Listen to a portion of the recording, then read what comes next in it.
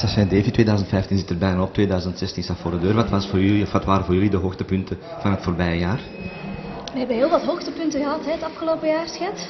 Ja, absoluut. Zowel met, uh, met de Romeo's als met Sasha en Davy. En, en voor ons was uh, eigenlijk ons nieuwe album, uh, La Vita e Bella, ons hoogtepunt. We hebben eigenlijk uh, tien uh, Italiaanse grote hits, klassiekers in het Nederlands opgenomen. En dat was echt uh, mooi om dat te mogen doen. En we zijn er heel trots op. Ja, we zijn er ook voor naar Italië gereisd. We hebben daar hele mooie videoclips opgenomen. En de release van het album was op de dag dat wij ook een heel tof concert hebben gegeven in Blankenbergen.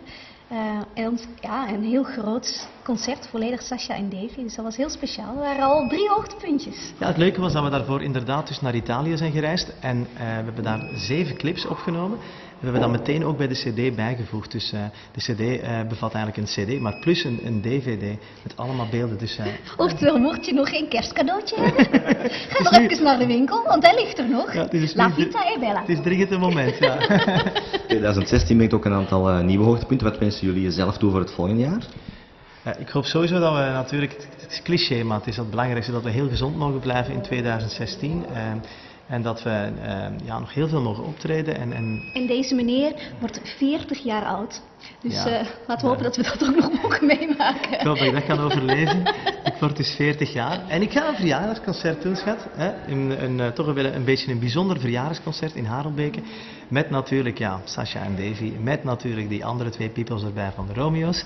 En ik heb nog een, een surprise. Dus een surprise act. dat wordt duidelijk begin januari. De meeste mensen maken begin januari ook een aantal goede voornemens voor het jaar dat komt.